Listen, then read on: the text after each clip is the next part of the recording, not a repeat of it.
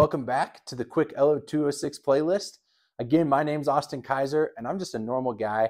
I'm new to LO206 go karting, but I'm here to hopefully help you quickly navigate your karting journey as well.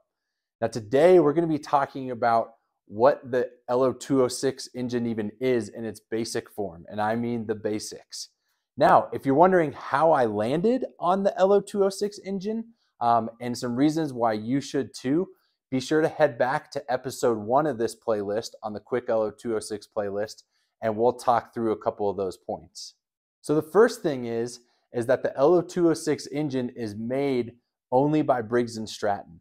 Uh, this is important because it contributes to the, the highly standardized class that it is. The reason it's called the LO206 is because it's a 206cc engine, uh, which translates into about nine horsepower. Uh, when uh, sticking that on a go kart means you're going up to about 60 miles an hour. The next thing to know about the LO206 engine is that it's a four stroke engine. Now, you might be asking the question well, what's the difference between a four stroke engine and a two stroke engine?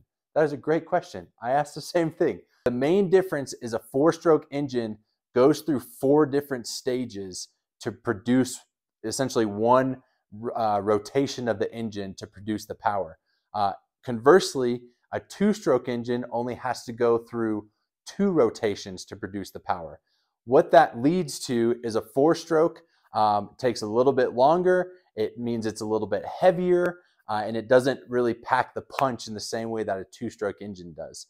However, for the purposes of, of this class, that's part of what is appealing to me and I hope appealing to you as well, is because ultimately means it's a little bit safer, right? The top speed's not as much and then contributing from the maintenance side of things back to the first point, uh, a little bit more standardized, uh, which makes it hopefully a little bit easier for you and for me to work on it and, and to maintain it.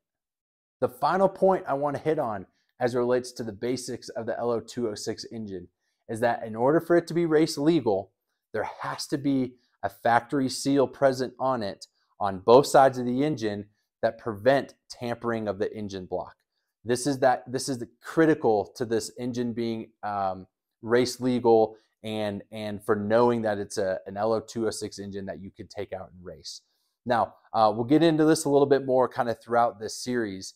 Uh, but what this does, what the seal does, is this ensures that uh, driving skill and chassis setup are much more the determining factors of the outcome of a race rather than my ability and your ability to work on an engine and help it perform better.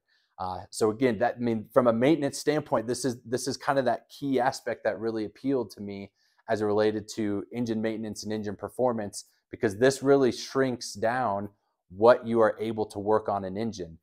So that's it. That's the basics of the Briggs & Stratton LO206 engine. Uh, 206cc, about 60 miles an hour, four-stroke engine uh, with a sealed engine block boom, there's the top four things that you need to know. Uh, so I hope that this proved helpful for you. Um, and, and be sure to continue to follow along on this playlist to make sure that you can quickly get the information that you need to start your karting journey. So be sure to subscribe to this channel, Kaiz the Karter. Make sure to like this video, post any questions in there, uh, and I look forward to seeing you next time. Have a good day.